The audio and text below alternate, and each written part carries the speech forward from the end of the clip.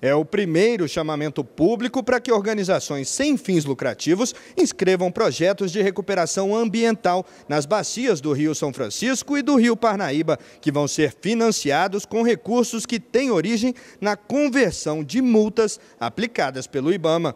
Pela primeira vez, o dinheiro do meio ambiente, que não vai nem entrar no governo, presidente, ele não vai nem entrar, ele vai ser investido em recuperação de áreas ambientais. Vão ser selecionados projetos para serem desenvolvidos numa área de 195 municípios na região da Bacia do São Francisco e de 213 cidades na região do Parnaíba.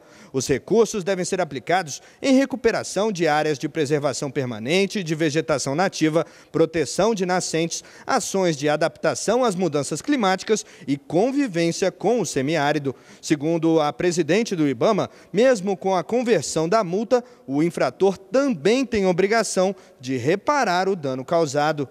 Você tem que converter e reparar todo o dano. Então, o decreto que foi assinado, nós consideramos bem mais rígido do ponto de vista ambiental do que a situação anterior.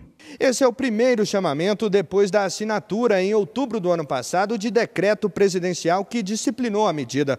Os autuados que manifestarem interesse em aderir à iniciativa podem receber descontos de até 60% nos valores das multas aplicadas. Segundo o IBAMA, o potencial é de aplicação de mais de 2 bilhões e 500 milhões de reais em multas a serem convertidas. Na cerimônia, o presidente Michel Temer destacou os avanços alcançados na área ambiental. Recebíamos cumprimentos efusivos pela aquele, aquela coisa de Alcatrazes, né? a reserva de Alcatrazes, que foi uma, uma coisa do nosso governo. A ampliação aqui do, do Centro-Oeste.